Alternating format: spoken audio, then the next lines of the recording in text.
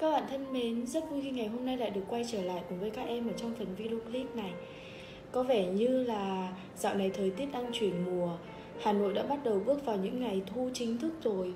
Thế nên là có rất là nhiều bạn nhắn tin cho chị và chia sẻ về những cảm xúc thay đổi của các em ở trong thời điểm hiện tại. Các bạn ấy nói rằng là dạo này các bạn ấy rất là buồn và rất là mệt mỏi về những áp lực của cuộc sống, về học hành, về mọi thứ xảy ra xung quanh.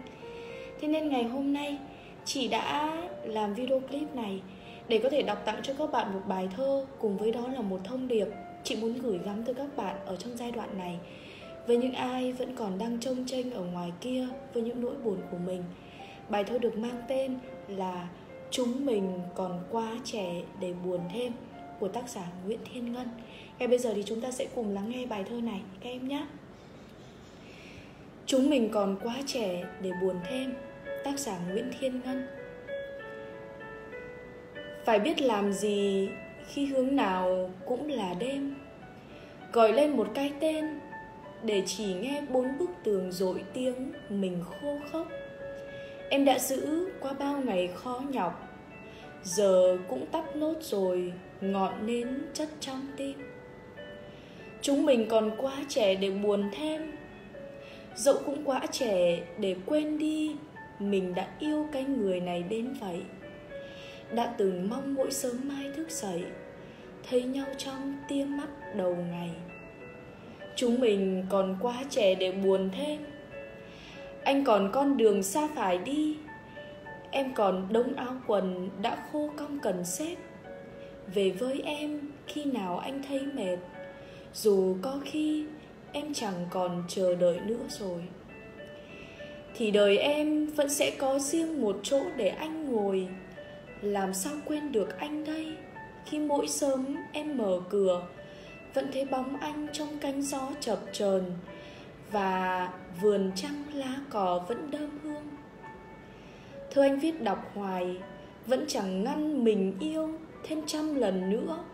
Dù chính người này đã làm cho mình khổ, làm sao em quên được anh đây? Chắc lúc ấy em chẳng còn thở nữa. Dẫu vẫn biết mình còn quá trẻ để buồn thêm. Chúng mình đi khỏi thành phố này đi. Em chẳng cần biết đi đâu làm gì.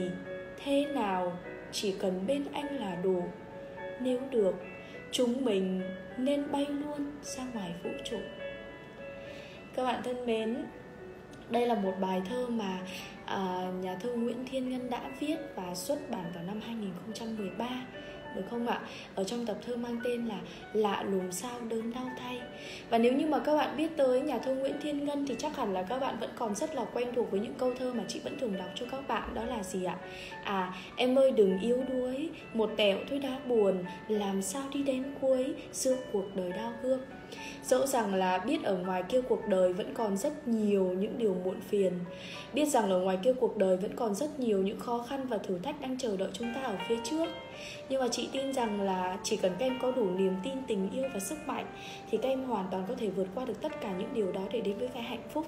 Và chắc chắn rồi, cuộc đời của chúng ta mỗi ngày đều là những ngày vô cùng tuyệt vời Là những món quà vô cùng tuyệt vời và hạnh phúc. Chính vì vậy mà chị mong rằng là các em có thể vượt qua được giai đoạn này, qua những căng thẳng và buồn bã của mình để à, tiến đến với những niềm vui trước mắt các em nhé chúc cho các bạn sẽ có một cuộc đời thật là an vui và chúc cho các em sẽ có được những ngày tiếp theo đây thật là vui vẻ và nhiều niềm vui các bạn nhé. Đừng quên là tối nay chị sẽ phát trực tiếp vào lúc 21 giờ ở trên trang cá nhân của chị. Thế nên đừng quên theo dõi trang cá nhân của chị để chúng ta có thể tiếp tục trên hành trình học văn và chia sẻ những câu chuyện về cuộc đời các bạn nhé. Còn bây giờ thì xin chào và hẹn gặp lại các bạn ở trong những video clip lần sau. Bye bye.